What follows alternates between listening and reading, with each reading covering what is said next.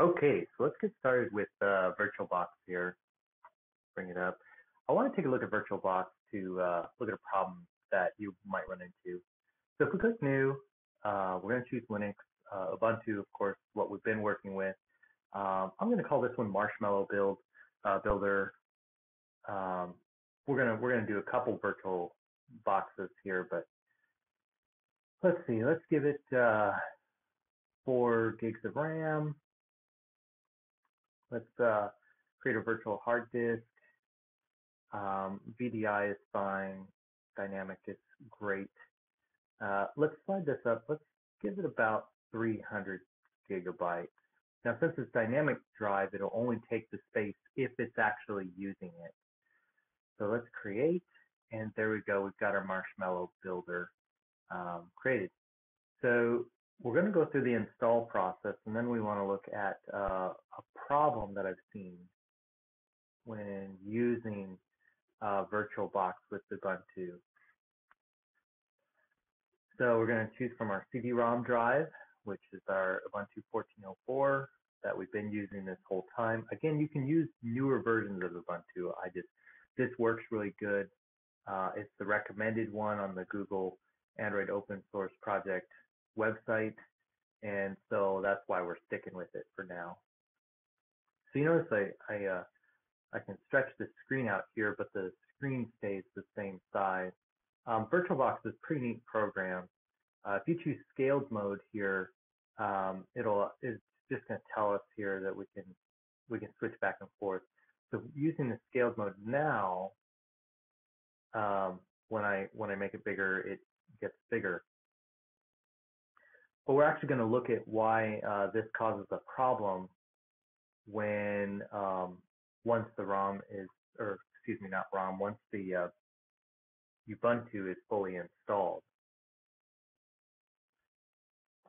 Um, as well as looking at VirtualBox, we're also going to be taking a look at a few other uh, projects. Um, namely, we're going to be looking at uh, uh, Team Win Recovery Project, TWRP, and building uh, your own version of TWRP.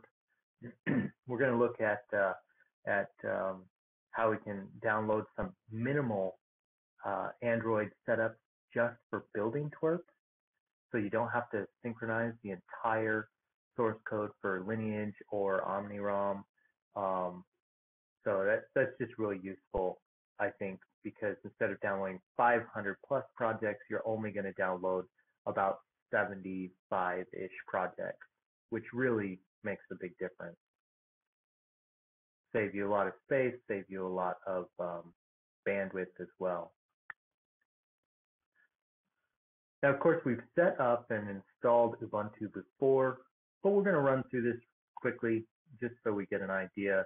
Um, if you do need more help with setting up Ubuntu, um, I've done videos on this before as well, and those might be worth taking a look at. We'll give it just a minute here, see if it picks up.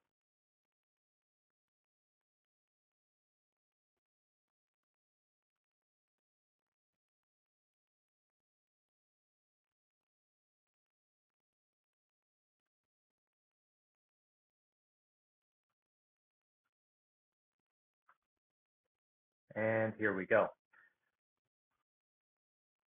So of course, when you put uh, the Ubuntu disk in, the first thing it tries to do is run as a live CD. So we're actually going to have to, you know, choose that we want to do the install instead of just test it out in the live mode. Obviously, if we're testing out in the live mode, that wouldn't work very good because uh, as soon as you rebooted, all of your changes would be gone. So there we go. We're going to click install Ubuntu. Uh, we could download updates while installing. We're not going to check that because we'll update later. Installing third-party software. Uh, sometimes that can be good, you know, uh, MP3, stuff like that. Um, we don't need it. Uh, let's see. We're just going to go with the default option. And we're going to continue. And now it's going to go through and uh, erase the hard disk and start uh, formatting and installing. So of course I am the Alaska Linux user, that's why uh, I choose Anchorage. They didn't have Fairbanks on there. I'm just going to go with the defaults on, on some of these things. Here we go, Alaska Linux user. Um, choose our secret squirrel short password here just to make it easy for working with the system. So I'm just going to log in automatically. This is a security issue, obviously, but we're just using this for virtual machine, so that's going to be okay.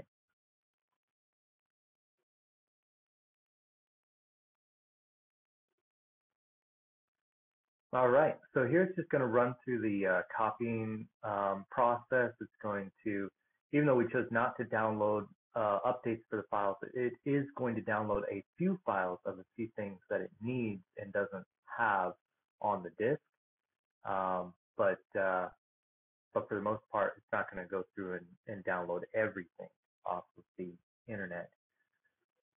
So the remainder of this video is just just of course just the installation uh, running its course and when it's done um, we'll just reboot the machine and that's when we're going to get into our interesting errors. So I'm just going to let this play through. Uh, you can watch along if you like and um, we'll uh, we'll go on from there